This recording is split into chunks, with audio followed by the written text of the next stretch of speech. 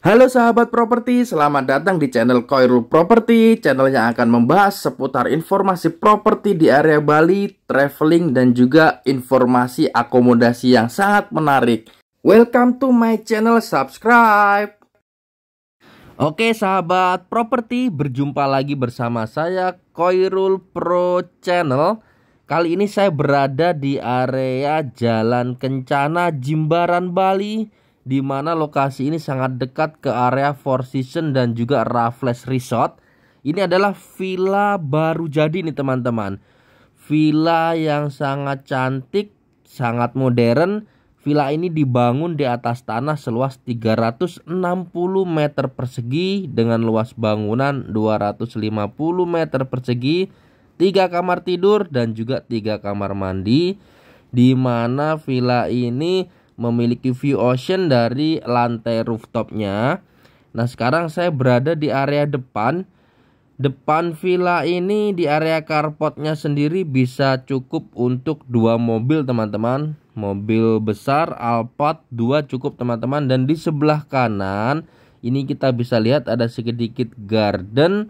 Dan sebelah sini ada service area atau laundry area teman-teman ya. Ini adalah pintu menuju service area tapi kita akan masuk dari pintu utama. Villa ini nanti ya teman-teman dijual dalam kondisi unfurnished atau tanpa furniture. Nah sekarang saya berada di area living room dari villa ini teman-teman. Konsepnya open terbuka bisa tapi ada pintu sliding Nah, di sebelah kanan ini dia ada area kitchen di mana depannya bisa dikasih dining area. Jadi pemilik villa di sini sudah sediakan uh, kitchen set. Jadi teman-teman sudah dapat bonus kitchen set. Tinggal beli furniture dan interior lainnya teman-teman. Sebelah sini ada service area. Nah ini untuk guest toilet teman-teman jadi kalau ada tamu tidak perlu masuk-masuk ke kamar untuk ke area kamar mandi bisa gunakan kamar mandi ini. Dan di sebelah kiri ini ini adalah uh, bisa dibuat dapur basah nih teman-teman nantinya ya. Jadi kalau mau masak sebenarnya bisa di sini nantinya. Dan sebelah kanan ini ada satu ruangan untuk gudang Nah ini ada gudang yang tidak terlalu besar tapi bisa untuk simpan barang-barang teman-teman yang seperti alat-alat kebersihan. Nah di sini ada satu kamar pembantu. Jadi untuk staff room teman-teman bisa dikasih satu bed ukuran 120 itu teman-teman. Jadi untuk staff kalian bisa stay di sini. Oke sekarang kita ke area kolam dan kamar di bawah ya teman-teman. Jadi di bawah ada dua kamar tidur plus kamar mandi tentunya. Nah untuk akses ke lantai dua dia ada di samping sini teman-teman. Nanti kita akan ke sana. Tapi kita akan review dulu di sekitaran kolam dan kita lihat ukuran kamarnya Dalamnya seperti apa Nah ini villa ini jadi buildingnya sudah jadi 100% teman-teman tinggal isi furniture aja nih teman-teman. Dua kamar tidur semuanya menghadap ke area swimming pool. Nah ini untuk kamarnya sekitar ukurannya tiga setengah kali empat atau kali lima gitu teman-teman. Tiga setengah kali lima teman-teman. Nah ini kamar mandinya untuk kamar mandinya dia tidak pakai bathtub untuk yang di lantai bawah. Nanti di kamar utama di lantai 2 baru pakai bathtub teman-teman. Nah ini sekarang menuju ke kamar kedua Kamar kedua konsepnya dan bentuknya sama teman-teman Jadi sebenarnya area tengah dari kamar dua kamar ini dia adalah kamar mandi yang disekat ya teman-teman Nah ini sama seperti yang tadi ada shower, closet dan juga wastafelnya. Nah oke okay. kita bisa lihat di sekitaran kolam tumbuhannya sudah bagus, sudah hijau.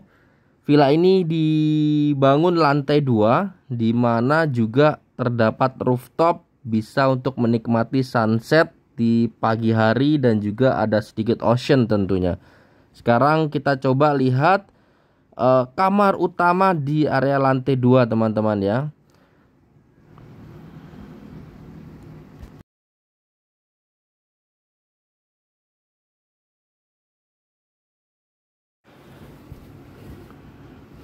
Oke, sekarang saya berada di lantai dua, di mana di lantai dua ini juga memiliki balkoni dari kamar utamanya, teman-teman. Dia memiliki view ke area swimming pool dan area garden tentunya.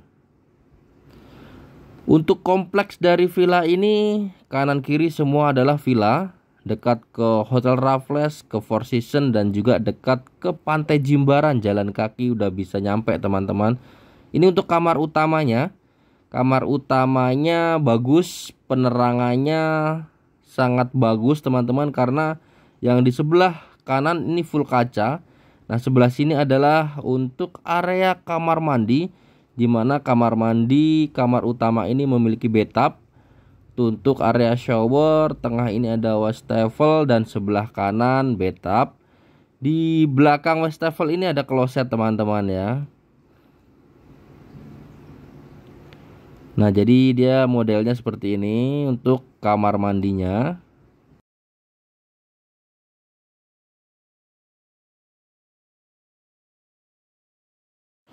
Nah di kamar utama ini ukurannya yang paling luas ya teman-teman dari daripada kamar yang di bawah tadi. Jadi ini bisa buat kamar utama teman-teman kalau punya unit villa ini viewnya juga ke area swimming pool.